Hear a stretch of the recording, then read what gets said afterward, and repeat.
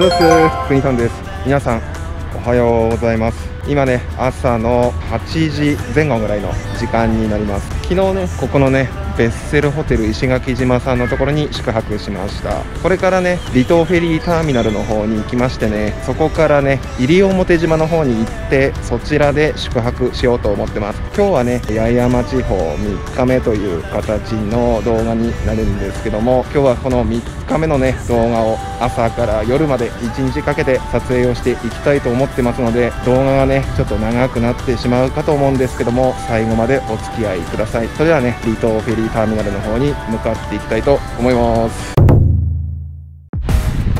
今ねフェリーターミナルの方向かってるんですけども天気いいなと思ったら雨。はい私土砂降りでございます、まあ、こんな感じでびちょびちょやん。もうなんだよ。もう雨降っちゃってさ。もうとりあえず頑張って早歩きかダッシュするような形でねターミナル行こうと思います。はい。やっとねフェリーターミナルの方に着きました。雨ね止みましたよ。でもなんかね雨雲とね青い空出てるような半々みたいな感じで降ったり止んだりしそうな感じの天候ですね。こっちはね天気ね綺麗なんだけどね晴れてて。だけどねこっちちょっと雨雲とかあるんでなんか微妙な天気ですね。それではね西表島の方のチケット買いましてねフェリーに乗って向かいたいと思います。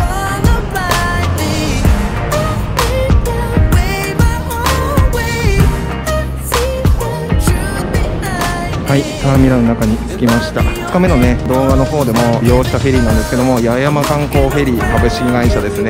こちらの方で西表島の方のね8時30分出発乗り場3ターミナルって書いてますね。そちらの方をね使って向かいます。まずはチケット買ってきます。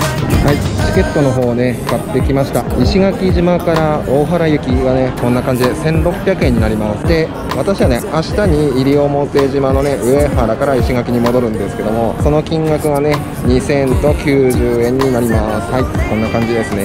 今日はシルバーウィークの3日目という形になるんですけども今現在8時18分ぐらいですね。このターミナルの中のね人混みの感じはねめちゃめちゃ多いです。人が。今ねこんな感じになってます。はい。はい。西表島のね乗り場は3番になります。はい。こんな感じで昨日もね4番で竹富乗りましたね。はい。方に向かいます。検温チェックやってますね目の前。はい。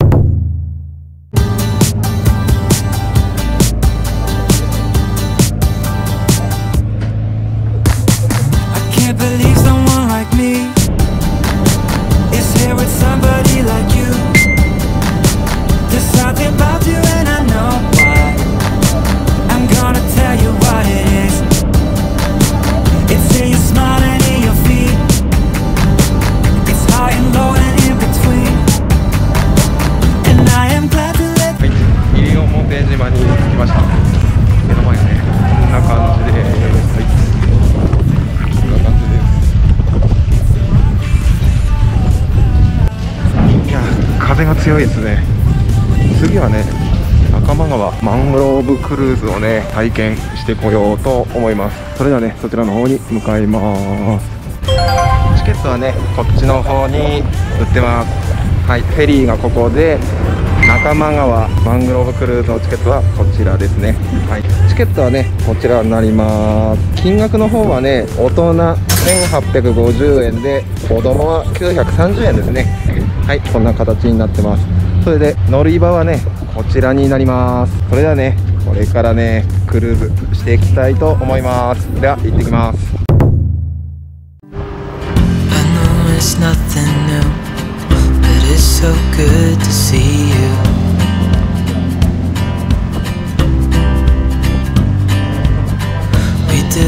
every day 4点ほど説明させていただきますのでよくお聞きください、えー、まず1点目です。本線はこれよりスピードを上げたり下げたりしながら中野川を登っていきます。今よりもスピードが出ている最中は大変危険ですので決して席を立ち上がったり移動したりはしないようにお願いいたしますなお先ほどから申しておりますが本日非常に風が強いです。船大きく揺れます。大変危険ですので今日は決して席を立ち上がったり移動したりしないようにお願いいたします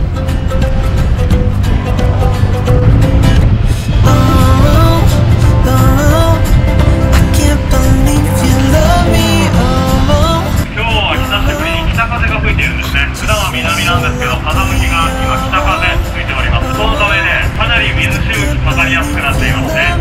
西表島ではですね、えー、夏は基本的に南風が吹くんですが冬になるとこういう北風が吹いてきます。それから夏が終わって秋に入りもうすぐ冬が始まるアイスもありますね。正面に大きい橋が見えておりますがあちら仲間橋といいます。これから行く中間川はあの橋を境に手前が海奥の上流側が川と分けられているんですねあの橋を越えることで中間川スタートとなりますそれではスピードを上げます So hold me tight through the night.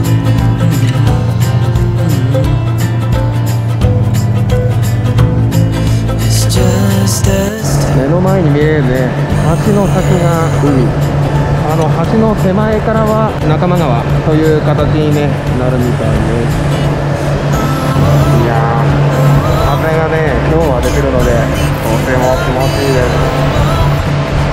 これが日本最大の面積を誇るマングローブの森です。これより本線はこの日本最大の面積を誇るマングローブの森の中へと入っていきます。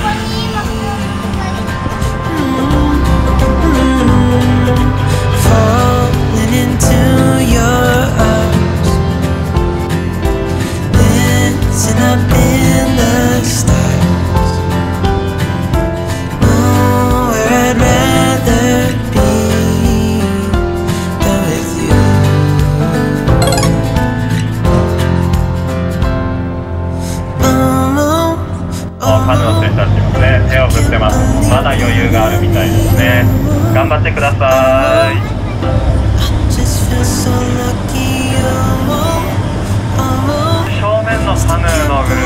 森の中へと消えていってますね。マングローブの森の中へと入っていってます。はい次はねレンタカーを借りに行きました。借りたね。レンタカー屋さんはね山猫レンタカー屋さんになります。これがね山猫レンタカー屋さんの送迎車になります。で今回借りたのはねダイハツのムーブです。西表島で今回乗る相棒はねムーブになります。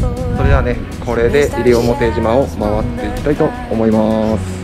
今回レンタカー代金はね1泊2日でね7500円になります。ちょっとね割高ですけどもこんな感じです。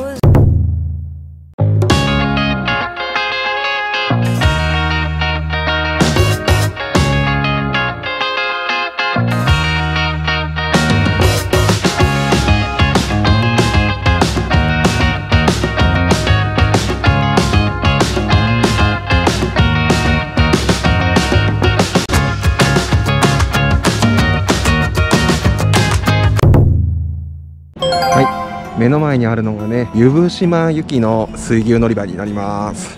でこちらがねチケット売り場になります。それではねチケットの方買いに行きまして湯布島の方にね水牛乗って行こうと思います。はい。はいこちらがね湯布島のね島の中のマップになりますね。右下がね入り口になってましてこんな感じで湯布島がなってるような感じですね。はい、こちらがね、水牛乗り場のね、出発時刻表になります。上がね、西表島の方から向かう時のね、出発の時間になりまして、下はね、この逆ですね。はい。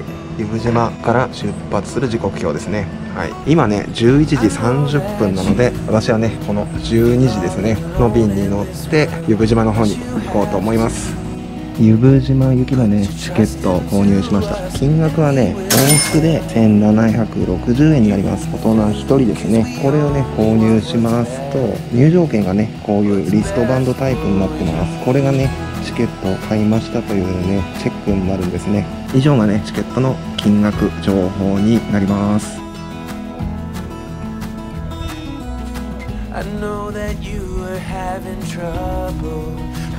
Right now that everything is gonna be, it's gonna be alright.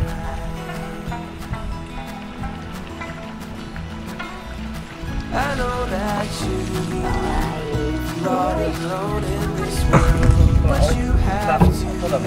Put your trust into us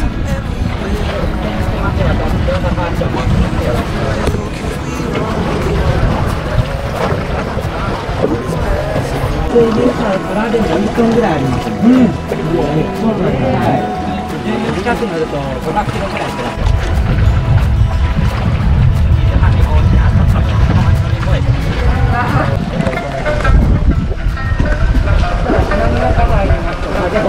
あ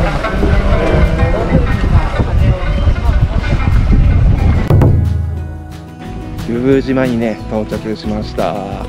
今ね歩いてるんですけどもこの道がねあジャングルみたいな感じっすよ。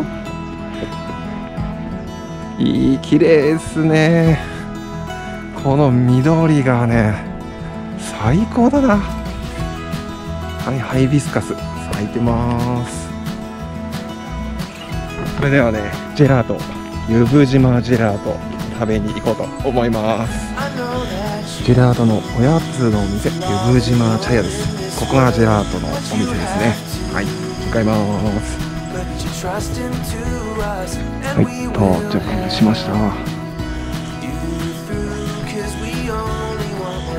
半端ね綺麗だな。すごいね。ジェラートのお店こんな感じになってます。はい、はい、こちらがメニューになります。Best for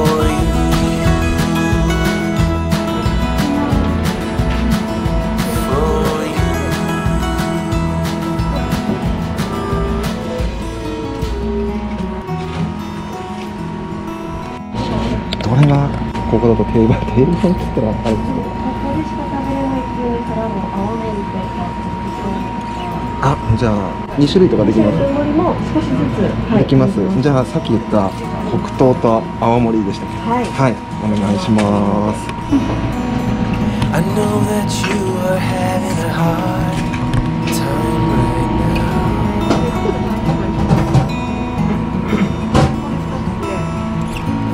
everything seems to crumble around you.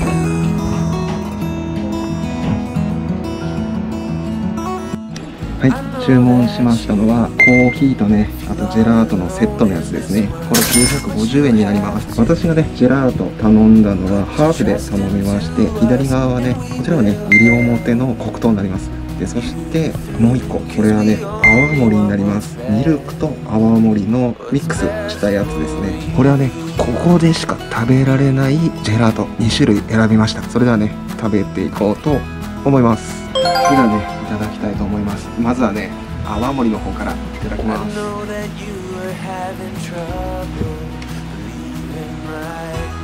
すごい。バニラの味が強めです。後からあ後から青森に来ますね。だけどねマッチングいい。美味しいうん。うまい。いや次にね入り表黒糖をね食べてみたいと思います。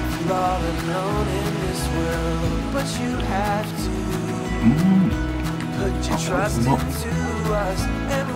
これうまあコーヒーの味もする。うん。What is best for 美味しい舌触り滑らか、うん、そして優しい黒糖の味がねふわーっと口の中広がります。いやークリーミーですねこれ。うん。美味しい。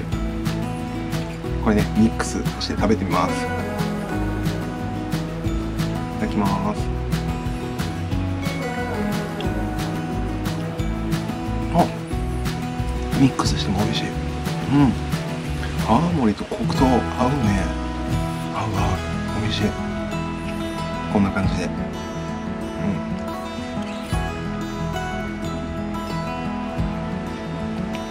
美味しい。次はねアイスコーヒー飲んでみたいと思います。こちらで作ってるコーヒーですね。はい。いただきます。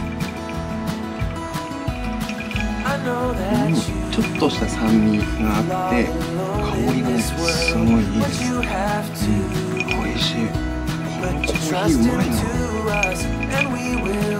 こんな感じ。うまい。美味しいです。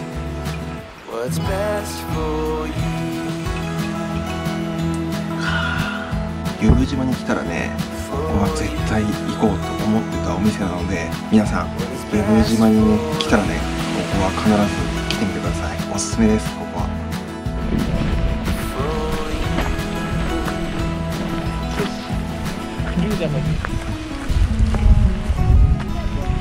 うわー超綺麗だ。こ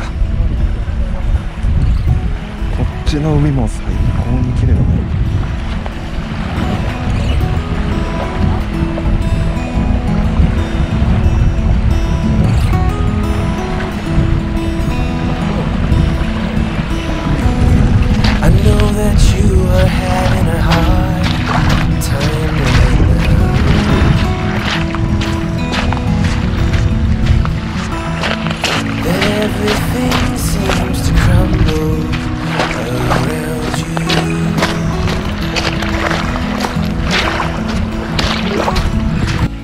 湯布島小中学校の跡地。えー、湯布島って小中学校あったんですね。昭和45年の移転に伴って閉校と。で現在はこういう校舎の名残が残ってるんですね。まあ入り口正門だったんですかね。はいこんなのがあります。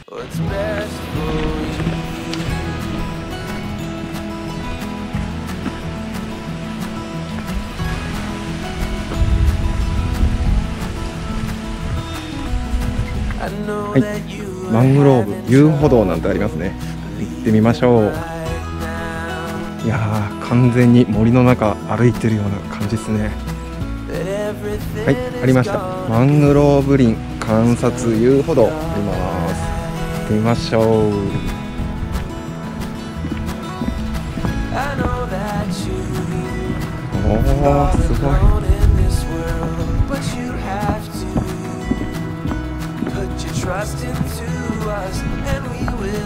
いやーすごいいや綺麗だね本当にうん.緑がすごい綺麗です空の青とこのねマングローブの緑のコラボレーション綺麗ですねお泣いてますね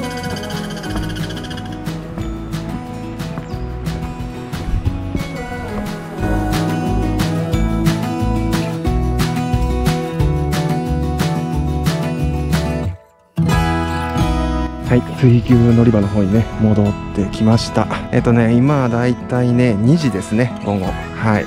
2時30分に出発する便があるので、それでね、西表島の方にね、戻ろうと思います。来た時はね、結構水低かったんですけどね、戻って2時間ぐらい経ちましたね。経ったら結構水引きましたね。それでね、こっちずっと右に行きますとね、はい、ジムニーのねリフトアップがあるんですよ。これね向こうのね西表島からねこれ海渡ってきたみたいです。なんかね潮が低い時だったらこれリフトアップしてるこんなジムニーでもこっち来れちゃうみたいです。はい。なんか面白いですね。うん。やっぱねジムニー人気ですからね。はい。面白い。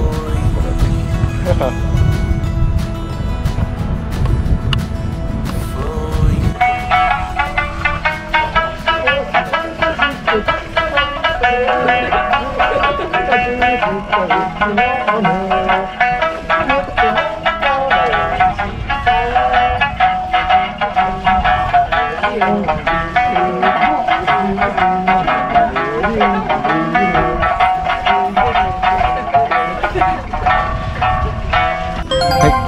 表島の方に戻ってきました。これからね、お昼ご飯食べに行こうかなと思います。それでは、行きます。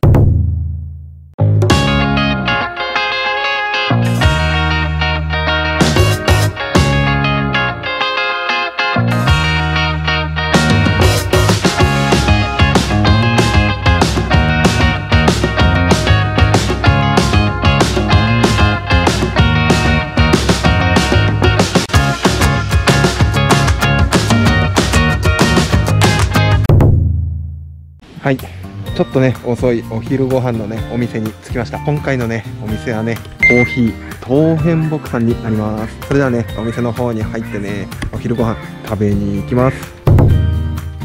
いやー、お店ね、閉まっちゃってました。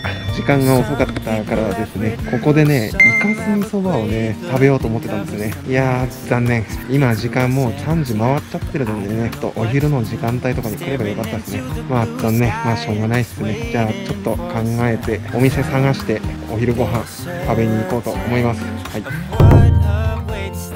い、次のお店来ました。さっきのお店の方からね、ご紹介されたお店はね、これです。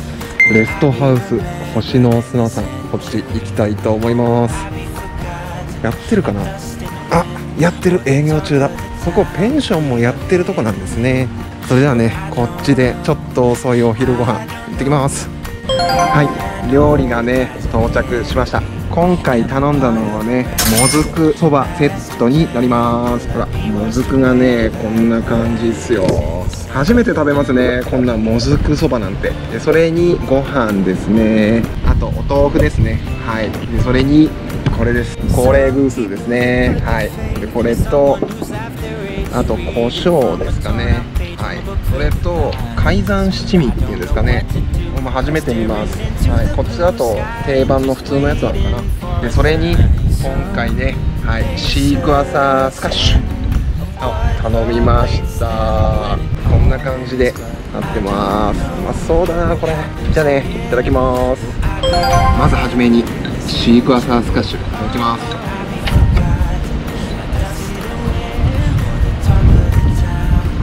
あ酸っぱい。あ酸っぱいけど美味しい。完全自然な味ですね。うめえ次はねくそばを食べてみたいと思います。いただきます。うん。おいしい。あもずくのこのぬるぬる感がスーッと入ってくれるんだ。うまい。うん。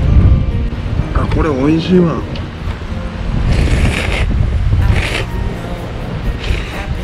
うん。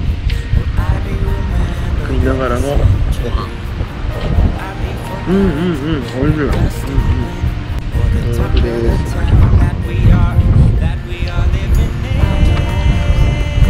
うん。シンプルなお豆腐うまいご覧の通りね目の前にあるのが星の砂ビーチになりますその星の砂ビーチの上でねこれテラスでご飯をね食べてます最高っすね美味しいご飯に綺麗な景色ところでね食べる食事最高っすね、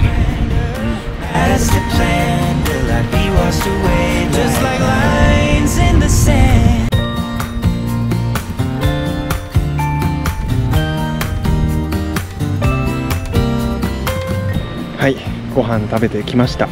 レストハウス星の砂さん大変美味しかったです。景色もめちゃくちゃ良くてね。ここね景色と食事両方どっちもね楽しみたい方はここのね星の砂さんおすすめです。今回ねお昼をね選んでたところにはね行けなかったんですけどもここに来れてね良かったなって思ってます。それではねホテルの方にチェックイン行こうと思います。はい。はい。ホテルの方にね到着しました。これからねホテルの方にチェックインしようかなと思うんですけどもこの後ろにあるホテルはね別の動画でご紹介したいと思っております。ホテルの名前はですねホテル星立入表島というねホテルになります。ここはね海の好きな人にとってはね高リッチな場所になります。それではねチェックインの方ねしていきたいと思っております。食事の方はねこちらのねホテルの方で食べていきたいと思ってますのでホテルレビューの動画の方でね食事の内容のね動画映像はね上げようと思っております。それではね今回の動画は以上となるんですけども皆様いかがだったでしょうか？